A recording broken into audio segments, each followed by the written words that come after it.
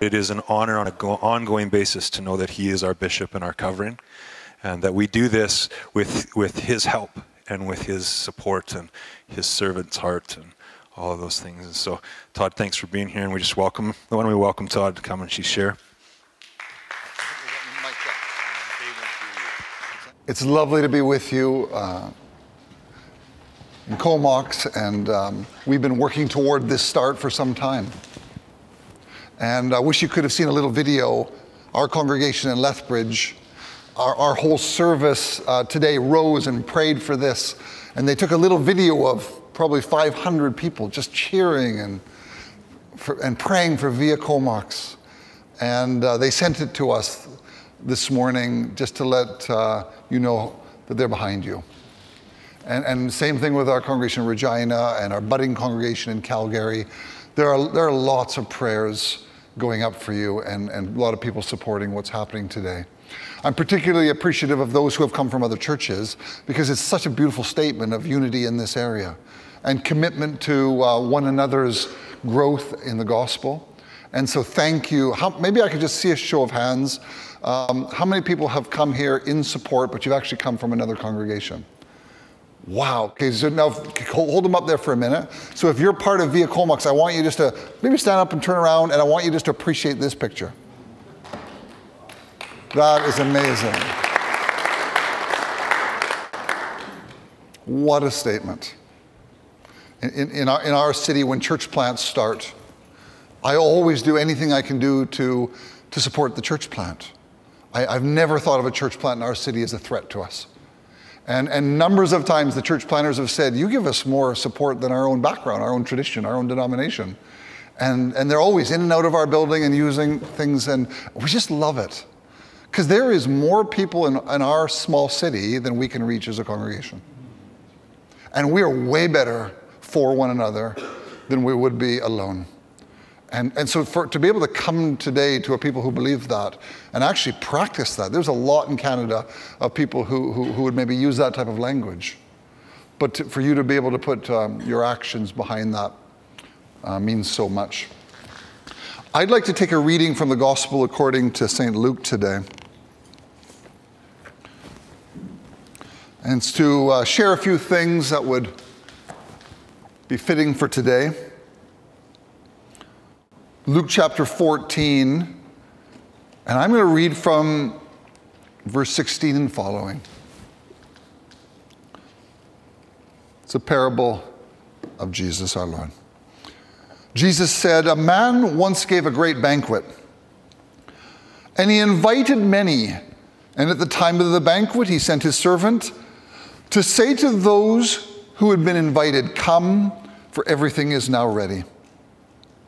But they all alike began to make excuses. The first said to him, I bought a field. I must go and see it. Please have me excused. Another said, I've bought five yoke of oxen, and I go and I'm going to examine them. Please have me excused. And another said, I've married a wife, and therefore I cannot come.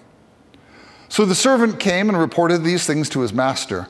Then the master of the house became angry and said to his servant, Go out quickly to the streets and lanes of the city and bring in the poor, the crippled, the blind, and the lame. And the servant said, Sir, what you have commanded has been done, and yet still there is room in your house. So the master said to the servant, Go out into the highways and the hedges, compel people to come in, because my desire is that my house would be filled. And we'll end that reading right there.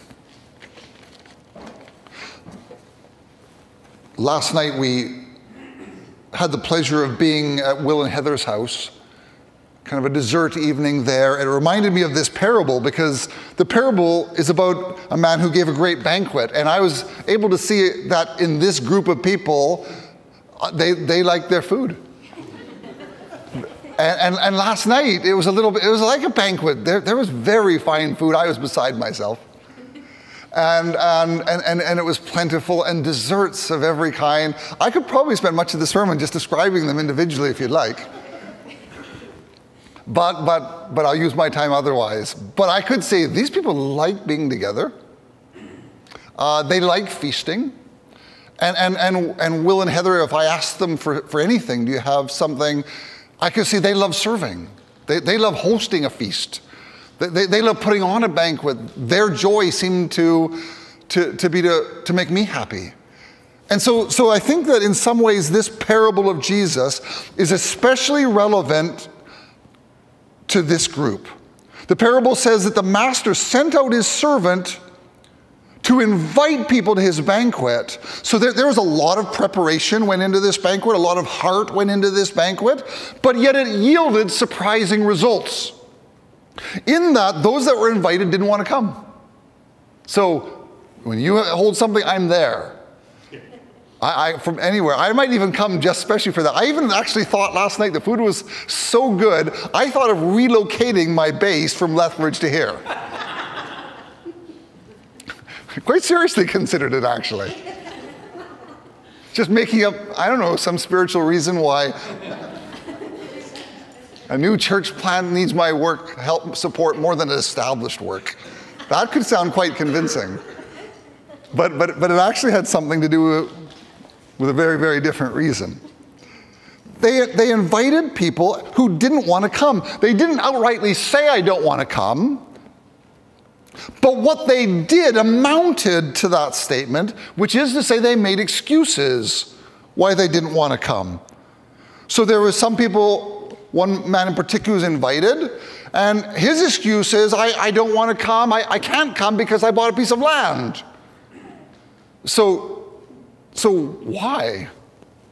You, you want to see a piece of land, you want to see it do what? Because that land has been there a long time before you purchased it, and it'll probably be there for a long time afterwards. In other words, there was nothing whatsoever urgent about seeing that piece of land. Just an excuse. The next person who was invited to come said, I, I, I can't come either, I'm afraid. I've bought some, some oxen, and now I must go examine them. And of course, Jesus' audience knew that he's saying this tongue in cheek, because who buys oxen and then examines them? Wouldn't you, wouldn't you examine them first? And, and, and then buy them? So Jesus is making a point here. The third excuse is, I've married a wife and I cannot come. Of course, the audience thinks, What kind of wife did you marry? So again, he's saying something tongue in cheek. He doesn't even say, Please excuse me. He just says, I just married someone. She is not going to let me to come. But of course, why didn't she just, why didn't you just bring her? And so they, in one accord, they make excuses. So the master of the banquet changes his plans and changes uh, the charge that he had given to his servant. And so instead of inviting that first group, who probably consisted of friends and family, if you read this parable and in the light of the few verses prior, it's about people who only invite friends and family to come to special events. So instead of that, he throws open the net. He, he opens wide the doors uh, uh, of his home, his hearth, his heart. He opened wide, wide the door and, and cast the net so much wider than he'd ever cast it before. And in some ways, he's, through this simple parable, he's speaking to the heart of God's people. He's speaking to the nation of Israel, whose original call, Genesis chapter 12, was to be a blessing to all the families of the world, not just to their own family. They, they were called to be people who, who cast their net very wide, whose door was open to all peoples, and yet seem to continually forget that significant call. Now faith had become more of a family affair.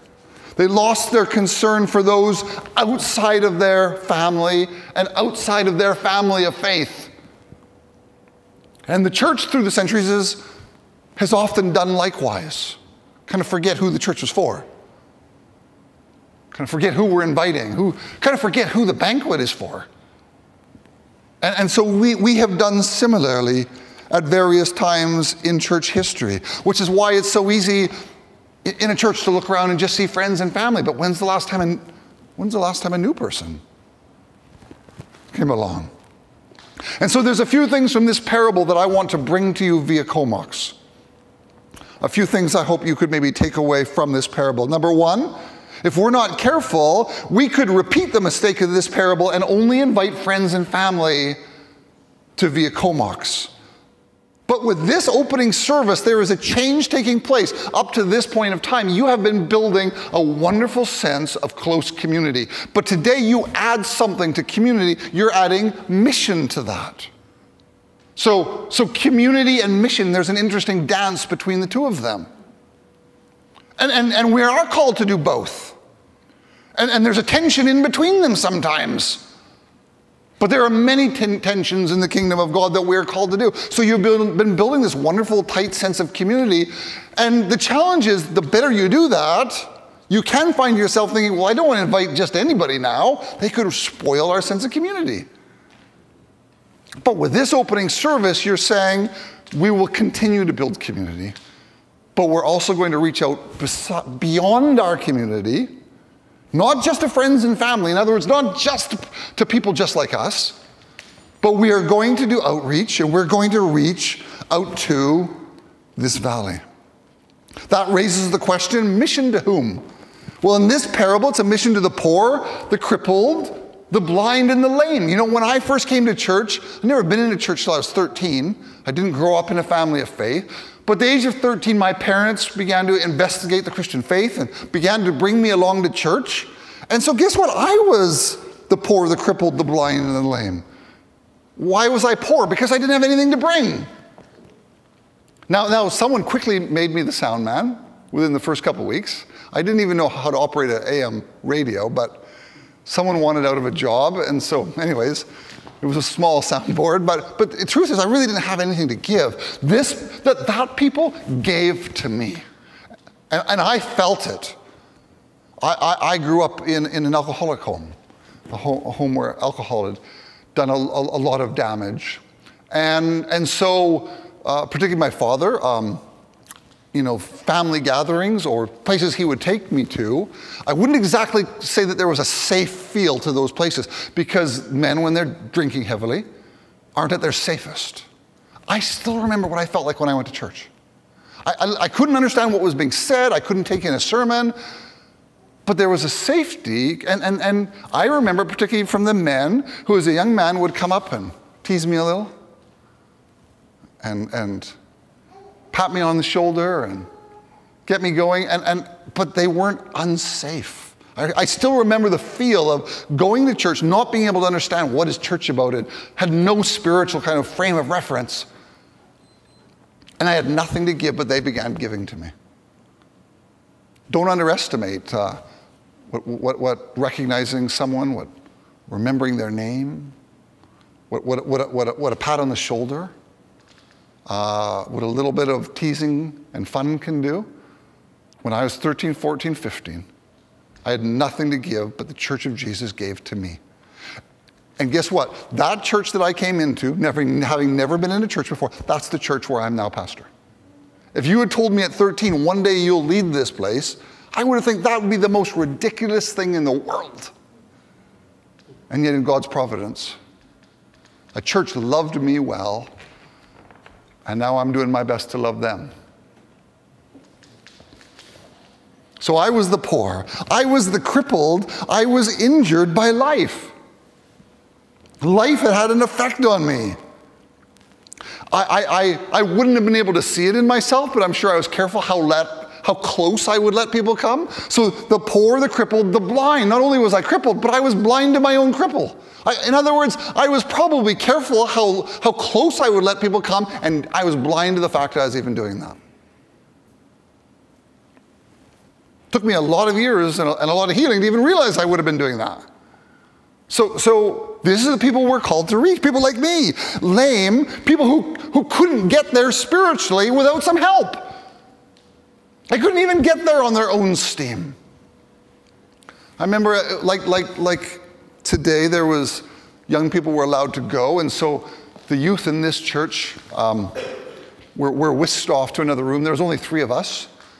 And, and, so I remember their, their youth pastor, I think they called him, saying that we're going to do a sword drill. But I didn't grow up in the church. I, what is a sword drill? Sounded like it had some form of bloodletting involved. So, so, do you know what a sword drill is? I didn't know what a sword drill was. It was it was he would name a book of the Bible, and the, and the first person to find that book of the Bible would win something. But I'd never put my nose in a Bible. I didn't even know the Bible consisted of books.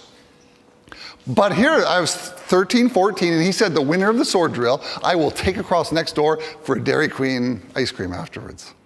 And that's all the incentive I needed.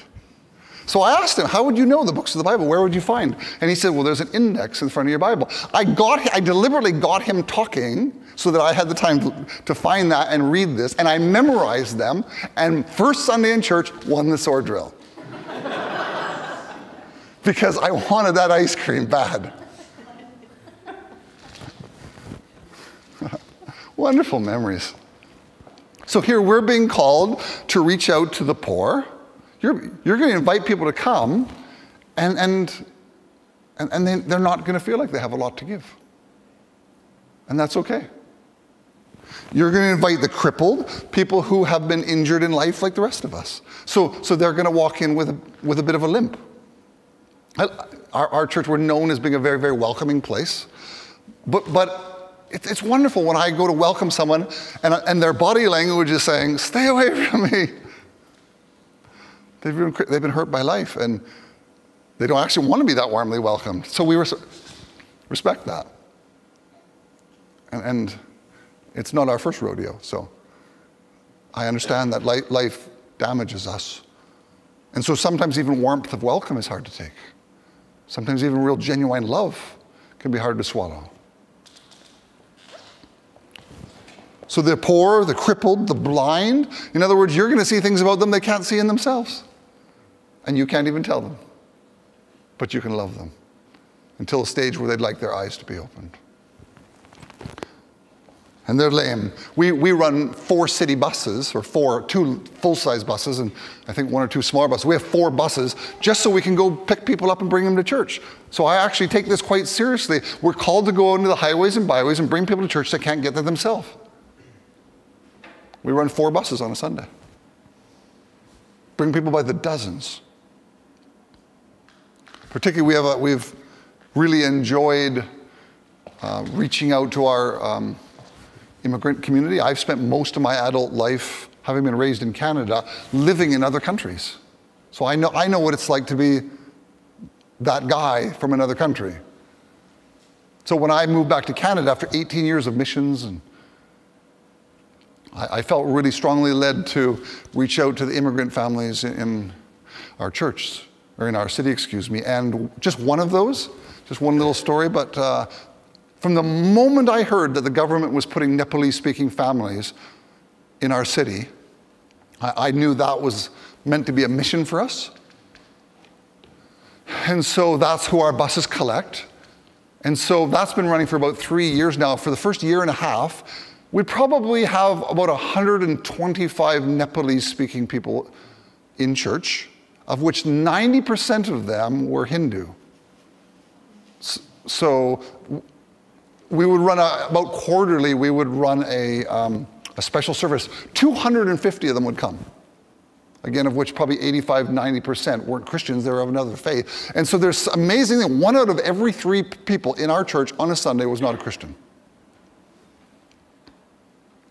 And we, it was the most incredible sensation of bringing the gospel. Now, many, many, many of those people have been baptized. And they're just, they're just coming to faith by the dozens to know Jesus as their Savior. And the, the Nepalese community just love us as a church. When they run their annual event, they bring me or someone from our church, and they, they always give us some kind of a war, reward or award because they feel so deeply loved by the Church of Jesus. And that, that now there's Nepalese speaking communities all across Canada who said, Why have you got such great treatment in Lethbridge? And so, even though the government put them in another city, now they are now relocating to Lethbridge because they feel like they could get that kind of treatment. It's just pure fun. What's, what's there about that not to enjoy? Oh, the story, I, I, just, there's so many stories I could tell you. I mean, the, the feeling of, in prayer, laying hands on a Nepalese family who, in, in their entire lineage, had never had a Christian ever lay hands on them and pray. The feeling of that. And the healings, the miracles we've seen. Incredible experiences. And so when the church engages in this kind of mission, realizing we invite certain people to come, they didn't come, so we go to the highways and the byways and we look for those that are, are lame and blind and crippled and people that can't get there on their own steam. And you're, you're entering into a world with Jesus right at the very heart. You're actually doing the very kinds of things that Jesus is most passionate about. And it's completely contagious. Last thing. Remember, you have a destination in mind. In this parable, there's not just a going out, but there's a coming back in. You go out and find people, and there's a bringing people back into the master's house to eat of a great banquet. I, have seen things done in so many ways. I've seen those who meet in the master's house, but never really go out and do anything, never really want to invite anybody in. I've also been part of huge evangelistic organizations where there's always a going out, but there's, there's never a bringing people back into the Father's house because there's been a loss of faith in church. So some people just washed their hands and said, I'm just going to go reach the world, but I don't really want to bring people back to church, and it never works. I've been doing this for almost 28 years. Because even if you have a success, your success quickly turns to failure. You know, because people need a family to belong to. I've also seen us go out and bring people back in, but when we bring people back in, there's no banquet to eat. So we bring people back, back into an empty dinner table. That's not much fun. And so, via Comox, here's three things I ask you to keep in mind. Number one, let's love mission. In this story, you're not the people eating the banquet, you're the servants. You're not the people eating the banquet, you're the people serving the banquet. You're, you're Will and Heather last night. You're hosting the banquet. You get to watch people come in who have never seen food like this and who have never eaten that heartily. And you get to pull up a chair and say, Let me serve you. You're about to eat the meal of your life. So we, we love, love, love mission. God has not brought you to Via Comox just to eat a banquet, but to serve a banquet. Number two, let's love the master's house. We've got to have some place to bring people back to. The reason last night was so fun is because we were in your house. And so your house represented your, your heart. You were not just inviting us into to, to, to timber frame, you were inviting us into your home, into your heart. We ate in the context of your heart. And that's, that's why as soon as I went in your house, I could pick up sense and care and love and conscientiousness. And didn't I ask you, what's, how come I smell Christmas tree, but there's no Christmas tree? It was a, it was a wee candle she had burning. Tricky.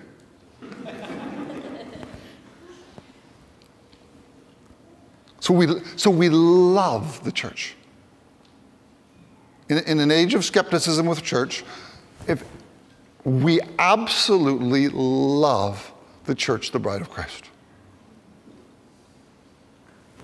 And we will bring people to be part of his church. And number three, let's love mission, let's love the master's house, the church. Number three, let's make sure that there's a banquet available when people do come. When people come, that there is a veritable banquet, a lush banquet of love and of kindness and of healing and of deep care for people. Let's make sure the spread is big. Last night, I, I was still hours later leaving, and the food was too good to only have one helping. It would have been disrespectful to you. I just want people to come and go, I never had a meal like this. These people, you can just, it's just a feast. You can just, there's love like you could never keep eating. You, you just never ending. Like, there's kindness. There's God's presence. It doesn't matter how much you worship, you want to worship more. Let's make sure there's a banquet available when people come. Hmm. A banquet for people to enjoy, a banquet for people to eat heartily of. And if we keep those three things in mind, hmm, you won't be able to keep people away. What did the servant say? He says, We've brought in lots, but it's still not quite full yet. What did the master say? Then go it again. What does he say? Because I want my house full. I want my house full. I want this banquet to be enjoyed and participated in. So, this is a good place to start. It won't be too long until you won't be able to fit in this place. Why? Because you'll be too full. Too full. Hmm. I'd like you to bow your head in a word of prayer with me, please. And I say this to the Via Comox, and if anybody else wants to join in, there's a commitment that our hearts are making prior to a commission.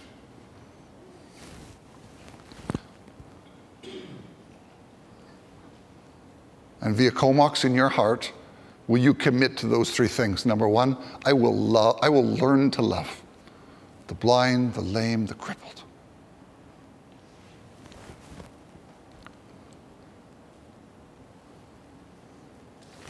I will love them. My prayer is, Lord, love people through me.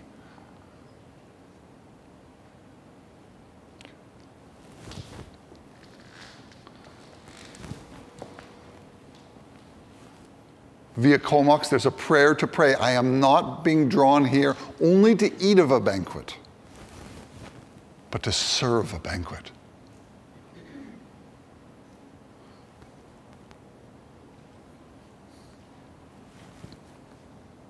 Number two, I will love the master's house.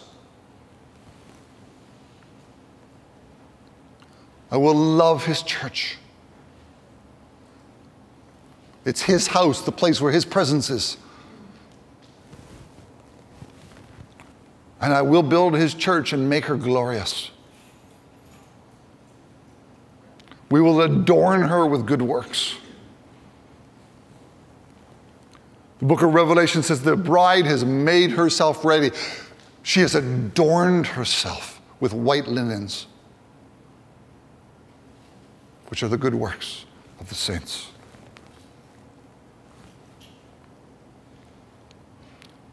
And number three,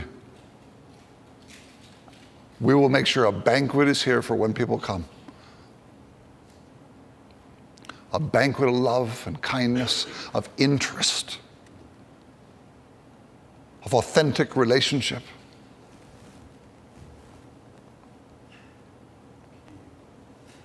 That from the first greeting to the height of our service, the Eucharist, the Lord's table,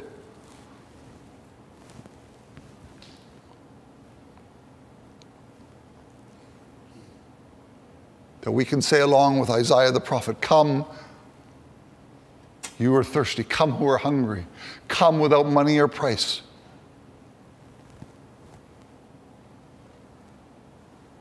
Come and you will be filled. With that in mind, I'll turn this over to Chad to introduce the commissioning part.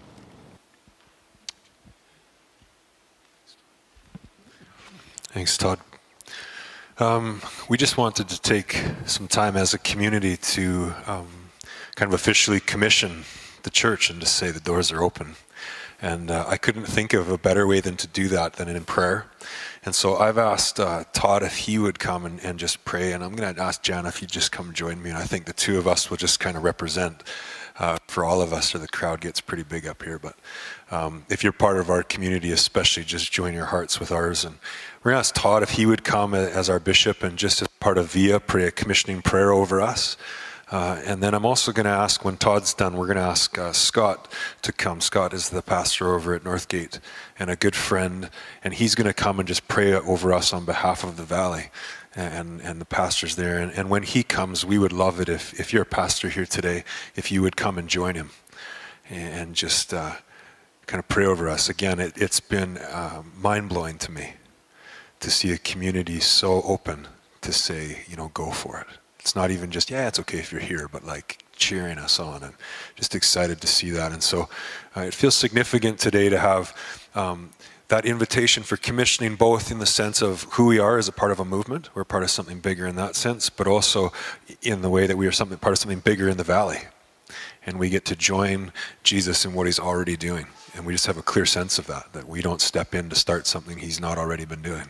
We just get to come be a part and play our, play our part. And so, um, yeah, Todd, if you'd come and.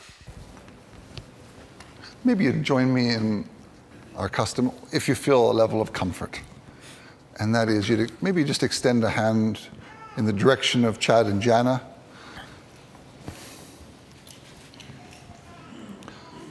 And maybe just before I pray, and even as I pray, you, you would whisper a prayer of blessing from your church, from your family, from your business, from your heart. Pray a prayer of welcome, welcome them into this community. So we said a church plant is not a threat, it is a gift.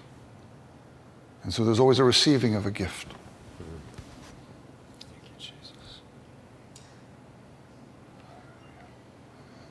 I want you to think of your church family and what is it that you have to give? There's areas every church are particularly strong and gifted in.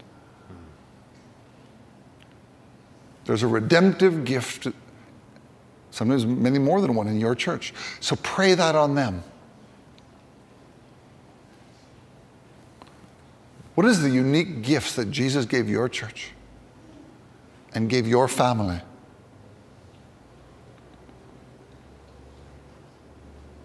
You have a unique authority to release that blessing on them.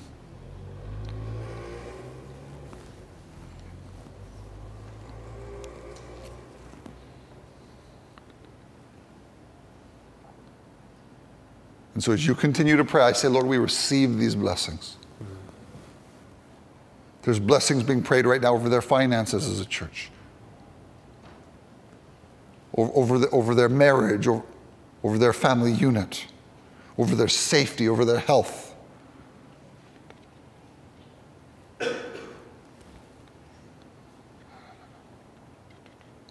We receive every blessing and give it a landing place.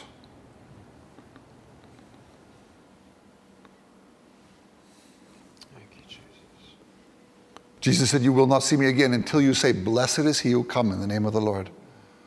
And so, just even now, under your breath, say that, Blessed are they who have come in the name of the Lord.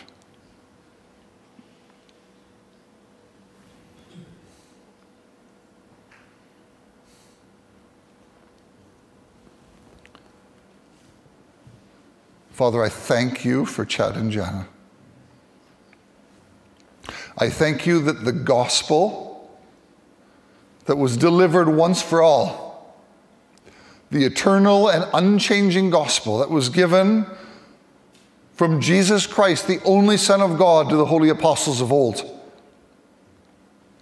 and was handed down generation to generation by the church with great care and conscientiousness. And now it has fallen on Chad and Jana, on their team and the other churches of this valley, to be faithful with that gospel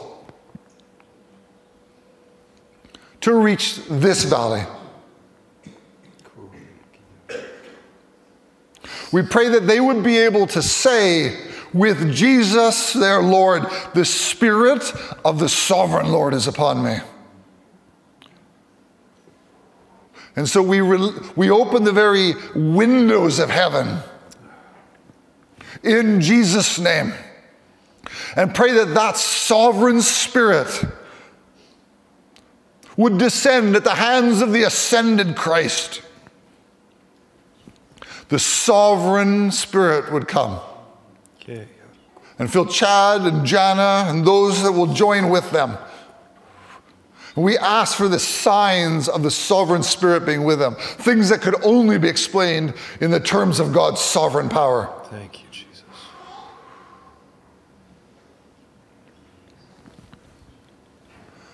And that by the power of that sovereign spirit, the good news would be preached yeah. to the poor, the lame, the blind, the crippled. Those that are, those that are broken in heart would be healed. That broken places would be, would be raised up.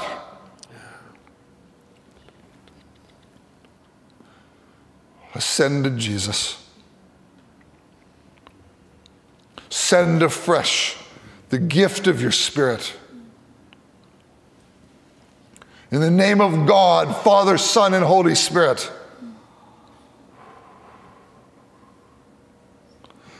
That they would be anointed for this task. Thank you, Jesus. Thank you. The, their sails would be full of the wind of your Spirit.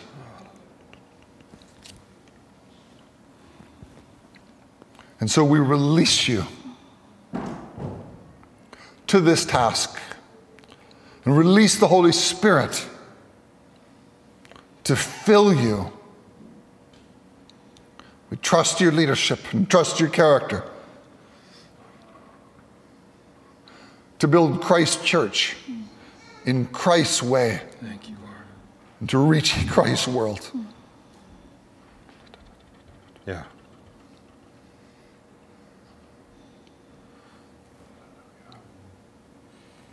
Hallelujah.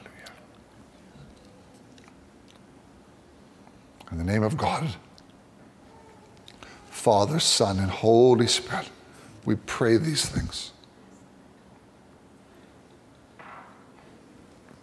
Amen. Invite your-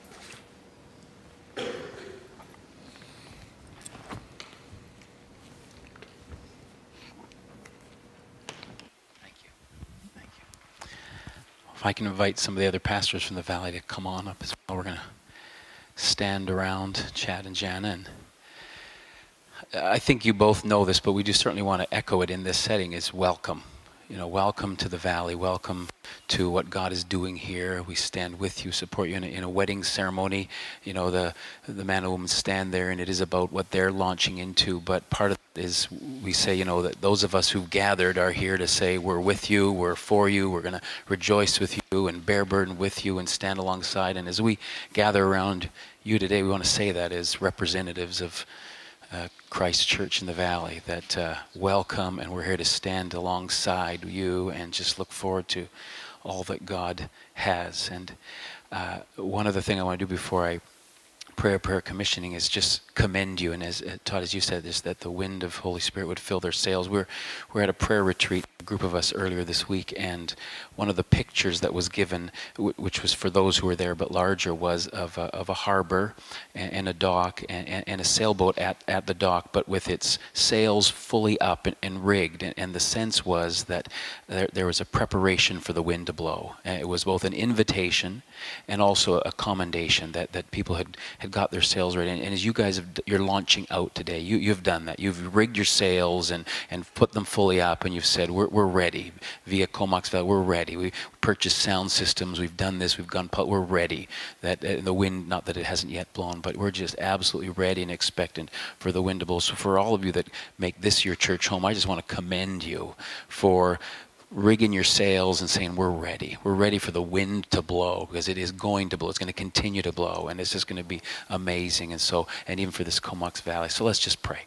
And again stretch out your hands as you feel comfortable. Father we do we, we rejoice in the work that you are doing. Lord lord i thank you for the privilege we have lord of, of recognizing what you have done, recognizing who you have called, recognizing who you have anointed and equipped and commissioned and launched out. And Father, thank you for the privilege we have of fellow shepherds standing alongside Chad and Jan and this team and just recognizing what God is doing, recognizing the good work that God has begun and standing alongside them and affirming with confidence that you who began that work will be faithful to complete it. And we're just going to journey together, Lord, as your work is continued and carried on in the Comox Valley. So we do. Lord, some of the songs and the declarations that have already been sung in this place this morning, we just echo them back to you, Lord, that you would do something in this group for the sake of those who don't yet know you, for the sake of the world, for those who haven't yet gathered at the banquet, Lord, that you would do something in each person in this room that would be so uh, reflective and representative of life of Christ, that those who haven't yet gathered at the banquet would be compelled to and drawn in to come to your table and feast at your banqueting table. Table. And Lord, as has also been sung, Holy Spirit, come and rest in this place. Lord, that this would be a place, Lord, this physical space, but our hearts and every place and space that we would occupy would be a space that is filled by the presence of your Spirit. Lord, in coffee shops and workshops, Lord, and workplaces and schools and wherever it would be, playgrounds, that as the members of this family, your body, go out into the Comox Valley, that every space they occupy would be space that is filled by your spirit, where people are compelled to come and eat at your banqueting table, Lord. So we thank you for them. We commission them, Lord. We, we pray your prayer that you gave uh, Aaron to pray, Lord. And now may the grace of our Lord Jesus bless you and keep you. Lord, that you would bless and keep this family, that you would make your face to shine upon them, that you would be gracious to them, Lord, that you would lift up your countenance upon them and give them peace. And so, Lord, we bless them. It is our great privilege privilege to stand alongside them and to gather under the wonderful name of Jesus and to declare that name to this Comox Valley and beyond. In your name we pray. Amen. Amen. Amen. amen. Thank you.